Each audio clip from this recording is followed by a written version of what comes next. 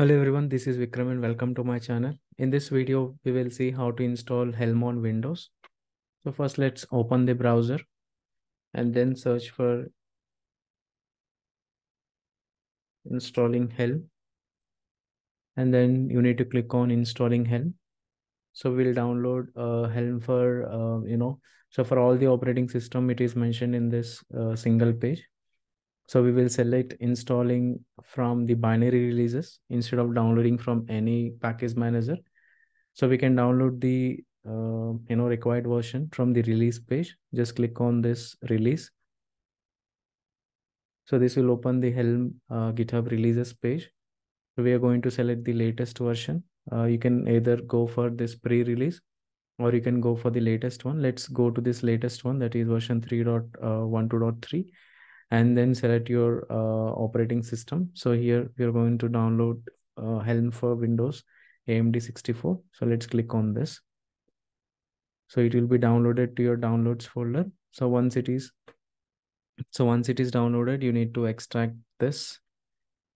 And uh, inside this, you will find the Helm binary.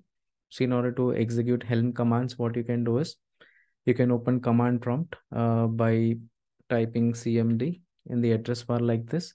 Now you know you will be directly taken into that particular folder where you have helm then i can uh, execute helm commands by running helm version. So this should print the helm version which is version 3.12.3 uh, but uh, if you try to execute um, you know helm from a different path let's say.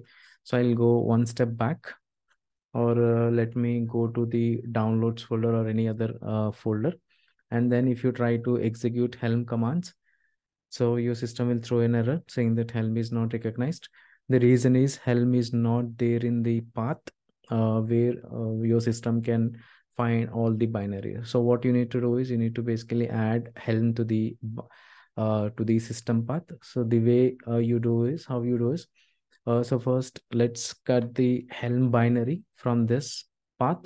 And then what I'll do is uh, I'll go to my C drive.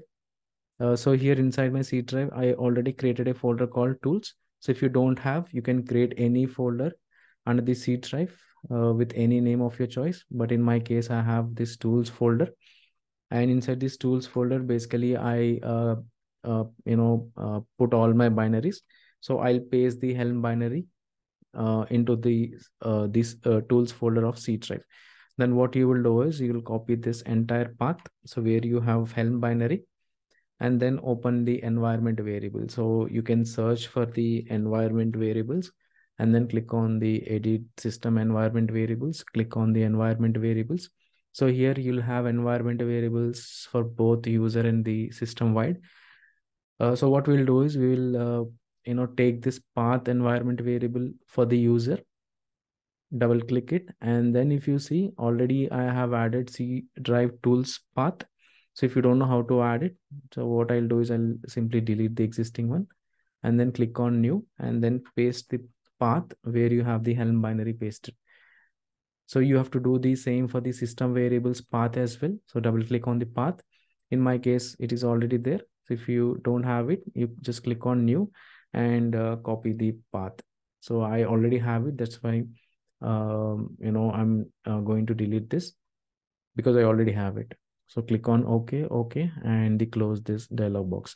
Now what you can do is uh, you can now try Helm commands from any path.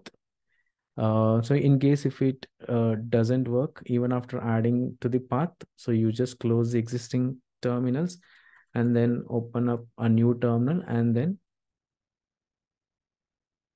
start executing the helm command. So this way it should work. So that's it for this video and I'll see you in the next one.